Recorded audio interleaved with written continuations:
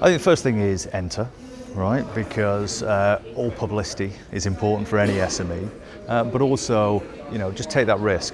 Uh, make sure that you're getting out there, you're educating people about not just your brand, but what you're trying to do uh, and how you're trying to bring your product to the market here because it's a vibrant market, it's growing all the time, and actually now is the time to try to, um, you know, take yourself to the next level.